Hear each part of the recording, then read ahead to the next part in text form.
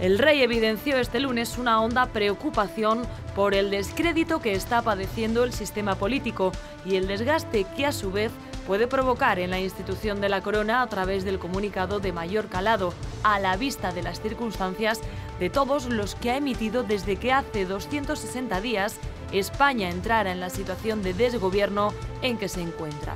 El monarca advirtió por primera vez a la presidenta del Congreso que le requerirá información sobre la situación política en relación a la formación de gobierno, manteniendo contacto regular y permanente.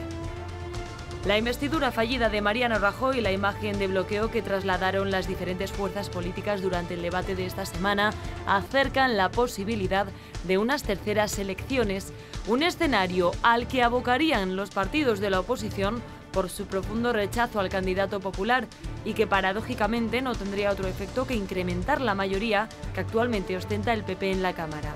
Así se deduce de la última encuesta de NC Report para la razón, según la cual el PP reeditaría su victoria con un 34,8% de los votos y se colocaría a 61 escaños de distancia del PSOE.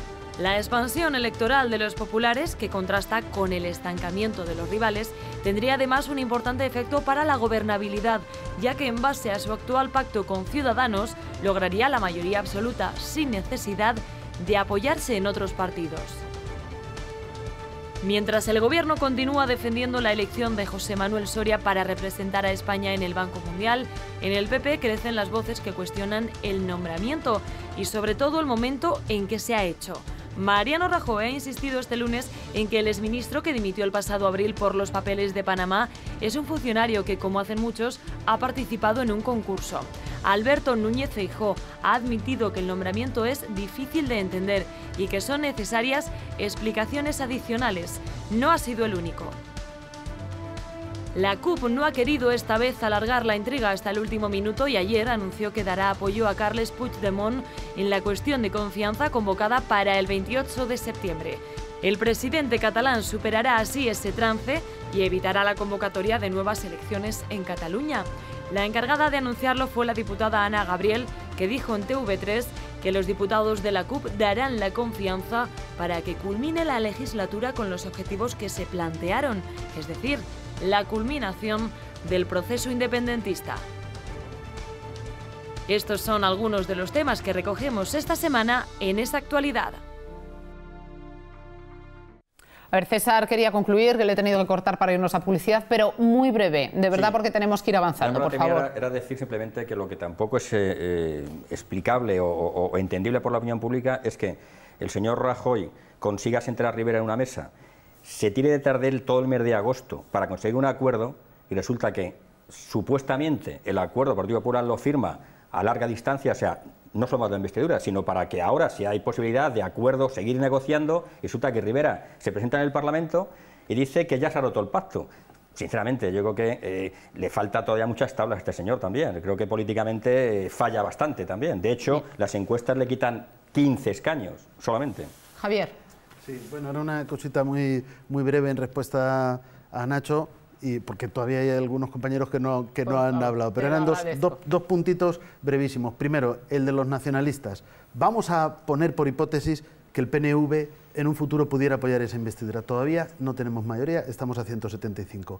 Lo que no puede hacer el Partido Socialista o Sánchez es decir, no, que busque otras derechas, y otra de las derechas era la antigua convergencia, que ahora no sabemos cómo se llama porque el nuevo nombre no se lo van a registrar, parece ser, pero si el propio Sánchez dijo, yo no puedo eh, ser presidente con el apoyo de estos, ¿cómo le dices a, a, Rajoy que se busque ese apoyo? Por lo tanto, la vía de los nacionalistas no es, no es posible y por lo tanto entramos en que dentro de los partidos constitucionalistas que respetan la Constitución, que están a favor de la estabilidad, la única vía razonable es esa abstención del PSOE. Por eso yo he dicho antes que hablando de responsabilidades, la principal responsabilidad es del PSOE, o vamos a decir de Pedro Sánchez, porque es quien ahora mismo lo lidera y ha adoptado esto, porque voy a decir lo siguiente, entiendo perfectísimamente que el PSOE tiene incluso hasta un mandato de sus electores de no apoyar a Rajoy, pero ¿tienes un plan B? Si tienes un plan B ya lo tenías que haber dicho. Ya lo tenías que haber dicho porque ya la investidura de Rajoy ha fallado. Y si no lo tienes, tu plan B son las elecciones. No te digo a ti, obviamente, digo a Sánchez. ¿eh? Pero en fin, a ti porque hayas hecho esa, referencia. Y si no lo tienes, di expresamente que, lo que, tu plan es volver a votar en diciembre. Antonio. Yo sí tengo un titular, que es lo que has pedido al principio. Y fíjate si se han extendido, ¿eh? que es que no hay oposición responsable. Todos sabemos el perfil mm, no ético que tienen prácticamente todos los partidos políticos. Pero lo cierto es que ha habido unas nuevas elecciones y las nuevas elecciones han dejado claro cuál es el status quo y están invitando a que haya un acuerdo entre todas las partes. Por lo tanto, un no eh, con estas restricciones que muy bien comentabas, pues lo que hace es sencillamente no permitir que haya una gobernabilidad que se tiene que dar. La estrategia yo creo que por parte del PSOE es totalmente equivocada. Si se quiere hacer una oposición no se puede decir que no. La oposición responsable es aquella que toma la iniciativa y pone una serie de condiciones muy importantes como planes de pensiones, como reforma laboral, etcétera, etcétera, para llegar a un acuerdo. Eso es lo que sería una oposición responsable. Y en estos momentos es lo que nosotros necesitamos. Claro que no nos gusta eh, eh, Rajoy, etcétera, pero ya eso está votado, eso ya está, ya ha pasado, estamos en otro estadio, ¿me entendéis?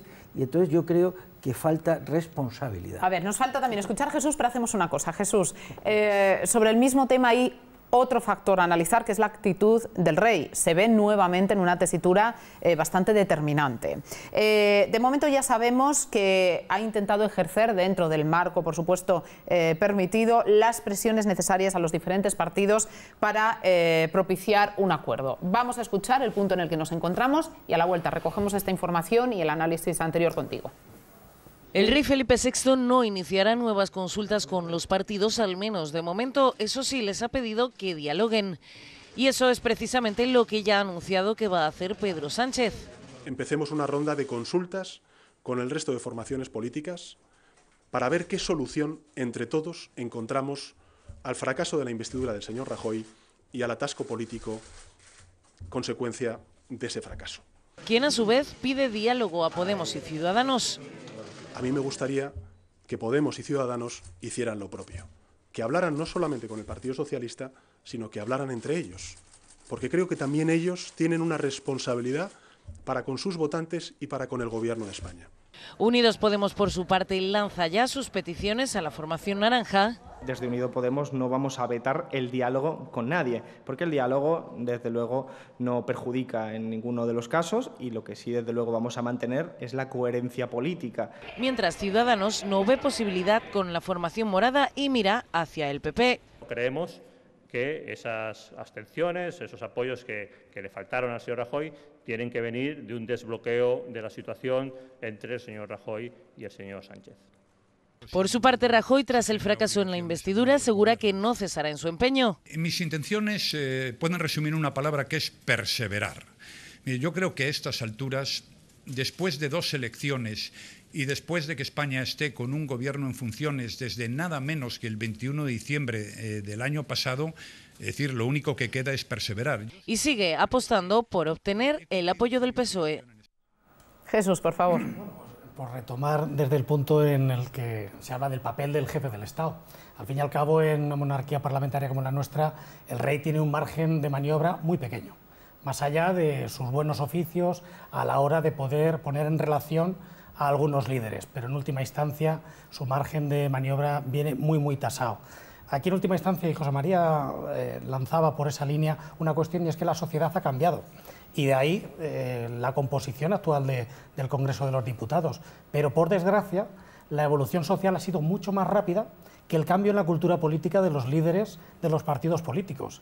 Siguen todos ellos, de alguna manera, eh, muy enquistados en un planteamiento de tenemos que llevar a cabo nuestro programa político. Y el mandato del electorado no es ese. O sea, ninguno de los partidos políticos puede llevar a cabo el 100% de su objetivo eh, partidista. De tal manera que tienen que buscarse mecanismos, hay cuestiones que no está solamente en verbalizarlos para que se materialice. Eh, Pedro Sánchez se equivoca en una cuestión. Eh, Podemos y Ciudadanos son agua y aceite. O sea, en todos los clivis políticos se encuentran en absolutas antípodas. Evidentemente, Podemos en el clip izquierda-derecha, pues sin duda Ciudadanos es casi más liberal que el Partido Popular, mientras que Podemos es ultraproteccionista con respecto al papel del Estado. Con respecto a Clivich, centro-periferia, Ciudadanos es mucho más unitarista incluso que el propio Partido brevemente, Popular. Jesús, porque es que luego vamos a ir apartado por apartado analizando papeles de los diferentes grupos. Pero Ciudadanos eh, daba una clave y yo ya en diciembre la había avanzado como una posibilidad de desbloqueo lógicamente, incluso la abstención, el Partido Socialista la debería de vender cara, o sea, lógicamente, para su electorado y demás. E incluso eh, haciéndole una labor, un favor a España, en muchos sentidos. Yo en diciembre ya abogaba por la posibilidad de eh, pedirle al Partido Popular otro candidato, menos tóxico, menos manchado, que ayudara a regenerar al propio Partido Popular. Pero al mismo tiempo una serie de leyes orgánicas que la ciudadanía le vendrían muy bien para cambiar situaciones. Ahora eh, empieza un año académico con un marco normativo que nadie quiere, ni siquiera las comunidades autónomas del Partido Popular. La impuso unilateralmente un ministro y eso se podría perfectamente haber resuelto en enero o febrero. Eh, bueno, pues por poner un ejemplo, tenemos que hablar del equilibrio territorial en materia sanitaria, tenemos que hablar de, un montón de cuestiones que le afectan al día a día de la gente y ese debería de ser el precio. A ver, eh, Ignacio, por parte del Partido Socialista, además de las respuestas que quieras dar, por favor, a, las alusiones hacia el partido que representas, eh, parece que Sánchez ha anunciado, no sé si a propósito de el incentivo de Su Majestad el Rey o ante la situación compleja en la que nos, nos encontramos, que esta vez sí tiene intención de reunirse con Mariano Rajoy. ¿Es así? ¿Cuál es la estrategia? ¿Cuál es el posicionamiento del Partido Socialista a día de hoy, si es que ha variado en algo? El posicionamiento del Partido Socialista, no es de Pedro Sánchez, lo que dijo el Comité Federal. No al Partido Popular y no a ningún partido que fuese, que fuese secesionista. Ese fueron el mandato del Comité Federal. Mientras no se una al Comité Federal, el secretario general del Partido Socialista en este momento, Pedro Sánchez, no puede llevar a cabo ningún acto ni ningún comportamiento contrario a lo que le ha dicho el Comité Federal. ¿Qué objetivo tiene entonces eh, en esa reunión que él está solicitando con Rajoy? Bueno, en segundo lugar, con Rajoy se tiene un teléfono. Y en segundo lugar, que no se os olvide, estas segundas elecciones fueron como consecuencia del voto no del Partido Popular. Porque el señor Rajoy que se debía haber presentado y no se presentó. Y quien se presentó fue el Partido Socialista. Y si el señor Rajoy se hubiera tenido no, el Partido Socialista tenido, hoy hubiéramos tenido este gobierno. Y esa oposición podría haber sido directamente también con mayoría. Y se ha hecho un gobierno. Pero claro, echamos balones fuera. Siempre el Partido Socialista. Siempre el Partido Popular quiere estar en la cabeza. No, por favor, no, no, perdóname, no, no, no, por favor, termina ahí su turno de palabra. fue de Podemos. Ese es el problema. Por favor. Ese es el problema. Si hubiera salido por mayoría simple, la segunda es mayoría simple. Con los votos de Ciudadanos hubieran salido. Se abstiene el Partido, el Partido Popular y hubiera salido perfectamente. Bueno, hubiera salido. Y hemos estado en esta elección por el Partido Popular Partido Popular, que, no, se olvide. y en estas segundas elecciones...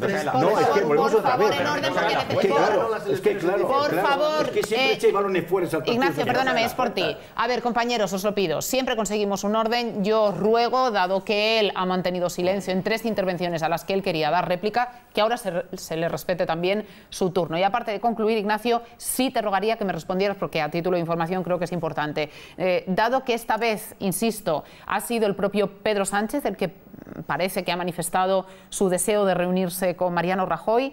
Eh, ¿Cuál es eh, la meta de ese encuentro? ¿Qué se va a proponer? Si realmente ese no del eh, comité mm, perdura, ¿qué pues objeto tiene? Lo primero que hay que hacer es hablar con el resto de las fuerzas políticas que componen el arco parlamentario y una vez que sepamos cuál es la posición, el posicionamiento, puesto que han cambiado las circunstancias a cuando las anteriores elecciones, ir al Comité Federal, exponerla y el Comité Federal será el que decida que es un órgano colegiado si efectivamente se abstiene, se apoya o se vota que no al Partido Popular. Es decir, primero se pulsarán esas otras opiniones y la última reunión será con Mariano Rajoy.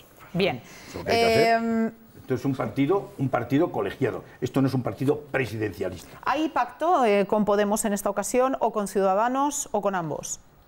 Se haría un pacto de investidura. No hay ningún pacto de momento. De momento ya sabemos cuál es su posicionamiento, pero las circunstancias han cambiado como consecuencia de que ha habido dos elecciones. Es decir, ya sería Nadie quiere, decir, hay un denominador común.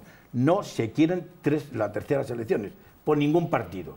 Ese es el denominador común. Bueno, no se quería por parte de ninguno eh, las segundas y al final ahora hemos tenido que Denominador común por las manifestaciones están diciendo por todo el mundo, es que nadie quiere terceras elecciones. Por los motivos que sean, por Europa, por no Europa, Bien, pero, Ignacio, o porque en realidad ¿hay es una falta de acercamiento con- responsabilidad a los políticos Bien. ¿Hay de que acercamiento con el partido eh, de Pablo Iglesias, con Podemos? No, hay diálogo, no hay acercamiento ni distanciamiento, hay diálogo. Lo que se está que es una cuestión, estamos más cerca del partido Podemos, del partido de Norte, de los partidos que están contra el cambio. Ciudadanos, ¿qué cerca. pensáis que va a hacer en esta ocasión? Firma primero un acuerdo con el Partido Socialista, en las segundas votaciones lo firma con el Partido Popular, ahora declara abiertamente que esos acuerdos están extintos.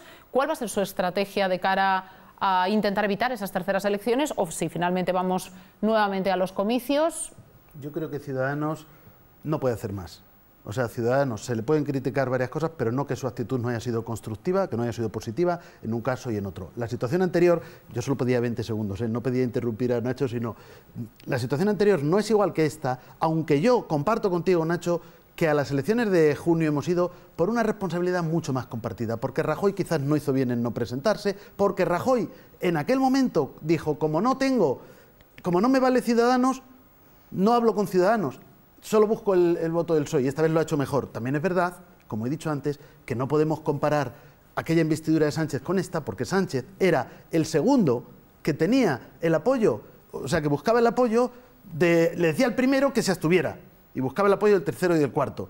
Y la suma de ninguna de las maneras salía. En este caso, aunque es verdad, porque los hechos han demostrado que también ha sido un fracaso la investidura, pero es cierto que razonablemente Rajoy decía, voy a llegar a 169 más Coalición Canaria 170 más, vamos a ver qué pasa con el PNV y razonablemente le puedo pedir al PSOE, incluso a unos pocos diputados del PSOE, llegado el caso, esa, esa abstención. Por eso yo digo que la responsabilidad... mm, o sea, que las situaciones Vamos a no ir son, no son concluyendo ya este tema. Os ruego, por favor, concisión. Yo creo que en Ciudadanos, o sea, Ciudadanos antes, o sea, en- después de diciembre y ahora después de junio, su actitud ha sido constructiva, positiva y a favor de formar un gobierno. Antonio Peñalver, por favor. La, la actitud de Ciudadanos efectivamente es la más constructiva que estamos viendo. Es una actitud en el fondo veleta, pero constructiva, porque apoyará al partido constitucionalista que pueda llegar a gobernar. Donde yo creo que habrá serias dificultades para que podamos ver a Ciudadanos apoyando es precisamente dentro de ese concepto de oposición irresponsable eh, la de a tener un acercamiento con el partido anarcocomunista eh, eh, revolucionario de Podemos. ¿no? En ese caso no veo yo que pueda haber un acuerdo.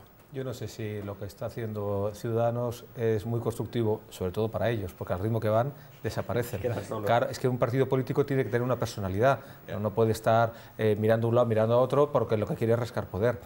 Es cierto que mm, podría facilitar una labor de gobierno, pero el papel que está viendo el ciudadano, el votante, para no mezclar los nombres, el votante respecto de Ciudadanos es que ni chicha ni limonada, ni aquí ni allí, ni arriba ni abajo. Y es un partido que cada vez que se hacen unas nuevas elecciones, después de haberse esperado de él incluso una, una posición superior a la de Podemos, es que al ritmo que va, en- como haya dos elecciones más de estas sin poder decidir ese gobierno, desaparece Ciudadanos. Bueno, yo creo que eh, has utilizado el, el adjetivo de veleta.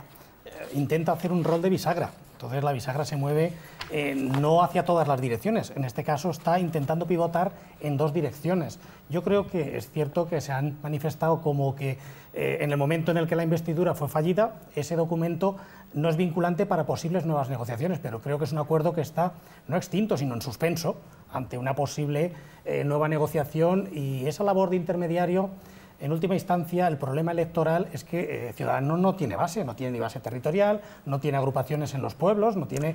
Entonces, de alguna manera, buena parte de su electorado es prestado. Hay otro problema de, fundamento que son los candidatos.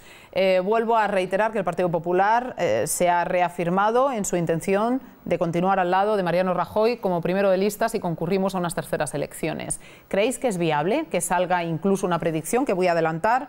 Eh, ahora, después de- del siguiente bloque publicitario, tendremos ocasión de analizarlo con más extensión, pero según la encuesta pública de esta semana, con Mariano Rajoy a la cabeza en unas terceras elecciones, subiría de nuevo el Partido eh, Popular y en cuantía suficiente para, eh, añadiendo la suma de, de Ciudadanos, se consiguiera una mayoría absoluta. Yo formularía la pregunta justo al revés. Y José María lo apuntaba. Es que sin, sin Mariano Rajoy como cabeza, posiblemente el Partido Popular por sí solo estaría en los 170. A esas Esa terceras elecciones, ¿vosotros apostaríais que irían como, como candidatos Pedro Sánchez y Mariano Rajoy en sus respectivos partidos? Seguro. una certeza. Rajoy seguro. Pedro Sánchez tengo mis dudas. De Rajoy va seguro. De Sánchez tengo mis dudas. Como haya un... ¿Tenéis congreso ahora otra vez o ya no celebráis más congresos? Nosotros el congreso creo que lo tenemos en octubre. En octubre. Pues entonces me pasa a mí que el Sánchez... Pero vamos, no sabemos todavía, es decir... ten Según tengo yo entendido No, por ahí, esto- como pero- haya un congreso antes de las elecciones de diciembre, Sánchez ¿Os estáis que no planteando va. cambiar el candidato? No, Sí, no, sí, es sí, decir, sí, sí, el sí. Partido Socialista no hemos planteado. nosotros- se lo están planteando, sí, seriamente. No te diga. Decir, el Partido Socialista está pensando ahora mismo en el problema de todos los ciudadanos. Sí, no ¿cuál estamos es? mirando el ombligo como hace el Partido No, Popular. no, se está mirando Pero el ombligo ver, de su casa. Ignacio, No, eh, a repetir. ver, mm, yo creo que No. los- las confrontaciones entre No, vosotros pero es que- eh, son muy Yo he interesantes dicho, en, yo he dicho aspecto, que no va Sánchez, pero no, no me mira ombligo. ser Sí. es Vamos fantástico. Es decir, en el Partido Socialista no hemos pensado también en el cambio de candidato y no ¿Todavía has dicho? Todavía no hemos pensado porque el Partido Socialista, el Partido Socialista no es presidencialista. Al no ser presidencialista, nosotros apoyamos una, una, una, una, una proposición. Insisto, has dicho todavía, en el próximo congreso sí. Ha habido hace- se, ha pueden habido hace- presentar, se pueden presentar varios candidatos, ¿por qué no? El día de las una primaria se el día de cuando la, se abra, el cuando día de se abra el periodo el, día de la- el mismo día de la investidura se juntaron a comer eh, Paje, Bono, eh, Felipe González y, y Vara. ¿Sabes? Y, ya están planteando y- el tema de que Sánchez no va a ningún Vale. lado. Están en su perfecto Te lo digo derecho, yo, pues, te- pero que están en su perfecto y lo sabes derecho, tú mejor que yo. Que están en su perfecto derecho, que esto es un Está partido caducado. congresual. Es decir, tú vas a un congreso y tú presentas. Primero hay unas primarias para decir qué personas, qué candidatos del partido, cualquier militante. Yo te digo cinco nombres, si quieres, No, pero que que, valen. que me da exactamente igual. Sí, yo sí quiero, perdón. ¿Sabes? Pues Sí. te he dicho, en estos nombres que te he dicho, te he dicho dos por lo menos. De posibles candidatos. Sí, Pero ten en cuenta, mira, Pachi ya está eliminado también. Vamos a ver, mira, Izquierda. Socialista puede presentar un candidato, pueden presentar y se pueden presentar los candidatos que quieran. Los candidatos que quieran se pueden presentar. No, claro, hasta tú. Se hace una prima, claro, hasta yo. Si yo reúno los requisitos y tengo el aval del 5% de los militantes, pues yo me presento y a Yo a votar. Nacho, a Nacho le voto. Y a le votar. votaría. Tienes el 5%, antes era más, ahora tengo el menos 5%. Sánchez. La tertulia esta te la lleva. ¿no? No, pero Todo claro, con un Sánchez. 5%, y tú te vas allí, pones tu programa, Pero mira, escucha, por mérito propio, eh, cuidado, que Hace yo- a mí me da igual de Sánchez, yo no voy a votar a Sánchez ni a este ni a ninguno. No, pero- ¿sabes? Pero te, te aseguro que Sánchez lo está haciendo tan mal. Pero si, es que, no. si es que no Antonio, se puede... creo que querías apuntar algo, sí. No, yo lo que quiero volver un poco es al, al origen de tu pregunta. Eh, eh, esa encuesta tiene sentido eh, en- con lo que respecta a llegar a unas terceras elecciones con los mismos candidatos actualmente. Sí que es verdad que ante el riesgo de que el Partido Socialista Obrero Español en ese escenario pudiera bajar de votos, eh, más votos y más escaños, lo cual es bastante peligroso ya para la situación dentro del, del hemiciclo, es probable que se tu- tuviera que plantear el cambiar eh, eh, de, de- cara. Pero lo mismo le sucede al, al Partido Popular. Es también probable que ante el riesgo de no poder alcanzar la mayoría absoluta se plantee el poder llevar otro tipo de representante. Pero es verdad que en ese sentido lo tiene mucho más fácil el Partido Popular que el Partido Socialista Obrero Español ante eh, eh, lo- los resultados de la encuesta que, que tiene sentido, Bueno, porque pues va a a haber esa abstención encuesta. y el Partido Popular va a crecer Bien, en escaños. Vamos a analizar esa encuesta. Claro que esta vez me voy a sumar yo a las corrientes eh, más incrédulas al respecto, puesto que las últimas no se han aproximado siquiera a los resultados. Pero bueno, digamos que sí puede marcar a lo mejor una tendencia en evolución si las comparamos con el resto de encuestas, en este caso de NC Report, que hemos reproducido en muchas ocasiones. Será la vuelta de estos minutos y creo que hay preguntas interesantes. ¿El Partido Popular puede llegar entonces a esa mayoría suficiente que le permita junto a Ciudadanos conseguir eh, el gobierno? ¿Qué pasaría en unas terceras elecciones con ese temido sorpaso en las segundas? ¿El Partido Socialista va a sostener eh, lo logrado en los segundos comicios o tiene el riesgo de un incremento de Podemos? ¿Qué va a ocurrir también con la formación de Pablo Iglesias? ¿Y cuál va a ser el papel en el que se va a situar Ciudadanos? Lo cierto, compañeros, es que a mí no me gustaría verme en la piel de ninguno de ellos hasta ahora.